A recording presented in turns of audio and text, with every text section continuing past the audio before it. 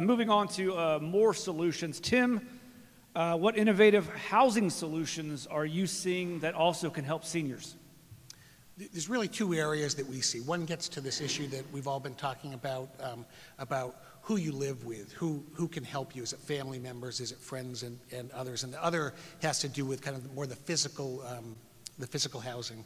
So for, regarding living arrangements, not as much in this area, but especially in other countries and other parts of, of this country, we're seeing um, more intergenerational programs. So college students, for instance, living with seniors in return for free room and board, helping to take care of the house, helping with transportation and, and other things. Um, there's a, uh, a senior property independent living in Cleveland that does that with Case Western Reserve, where the music students live there for free, and in return, they give musical performances. And so you get this kind of help. The, the seniors don't feel as isolated as, as they might. So there's, um, so there's that area, but I don't see us doing quite as much of that uh, locally.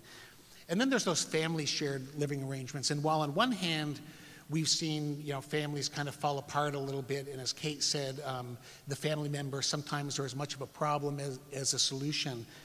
And uh, if you, in 2000, 15% of the U.S. lived in a multi-generational household.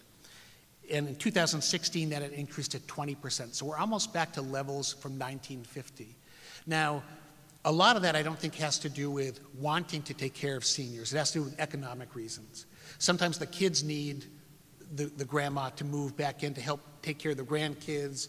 It's financial reasons. We've seen seniors in our affordable properties move out to live with their children so the children's house wouldn't be foreclosed on. They needed the finances. Not something the senior really uh, wanted, but we're seeing those kind of forced relationships. It's hard to tell whether that's a benefit or not. They might be in the same home and not helping out, um, but it, it's certainly at least a trend.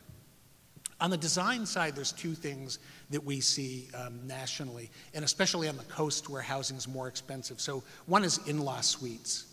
So if you, one of the issues, transportation issues is if you're taking care of a parent and that parent lives 20 minutes away from you, that's a lot of back and forth. It's certainly much more convenient if they're living close by. So once they're in there, people looking at, well, how can I change my house to give them some privacy? There are companies out there, for instance, that will take a two-car garage, turn it into an apartment for you, and so that they can kind of have some, uh, some separation there.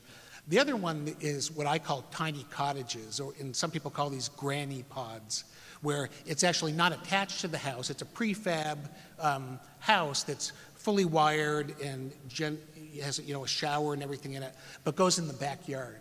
And while there are a lot of zoning issues around that, where in places like San Francisco and some big cities, we're seeing more and, and more of that. So it's, uh, it's giving them, a, the seniors, a place to live that's hopefully close to the help that they need so that you're, not, you're at least not having that drive time every day.